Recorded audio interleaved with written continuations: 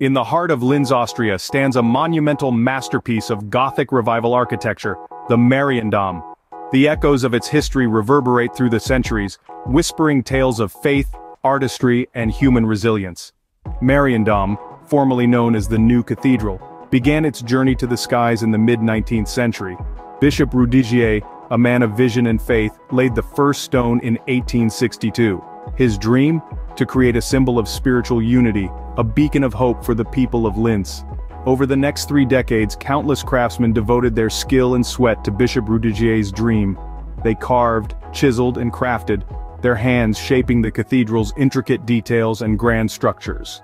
By the time the last stone was set in place in 1924, Mariendom had become the largest church in Austria, capable of accommodating 20,000 souls. Every inch of Mariendom tells a story. The towering spires reach towards the heavens, symbolizing the human aspiration for the divine. The stunning stained glass windows paint vivid tales of saints and angels, their colors dancing in the sunlight.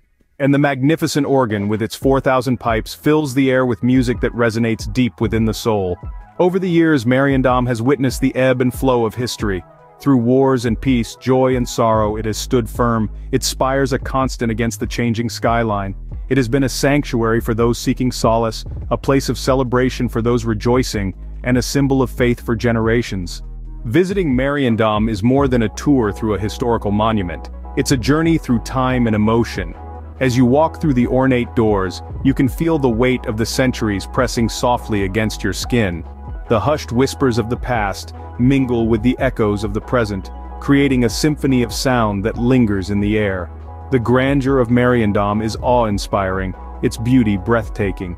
But what truly touches the heart is the sense of peace that envelops you as you walk its hallowed halls. It's a reminder of the enduring power of faith, the resilience of the human spirit, and the timeless beauty of artistry. Visiting Mariendom is an experience that stays with you, a memory etched in the canvas of your mind.